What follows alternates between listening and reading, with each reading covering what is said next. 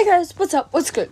Okay, so I'm packing my swimming bag, so I'll show you what I have. Okay, so firstly, this just has moisturizer, um, like a perfume, um, sunscreen, and Vaseline for my face after swimming.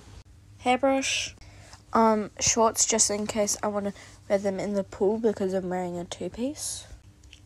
Then I put something else in there, um, but goggles my crusty, dusty, musty um shoes, and last but not least, my towel. Sorry, that is not the last thing. A plastic bag um to put my wet clothes in. Apparently, it's gonna be really hot today, so that's a good thing we're going to the pool. Okay, about like earlier when um I said like my sides are crusty, dusty, musty, I meant dirty. Okay. Alright, guys, I'm gonna go. So bye.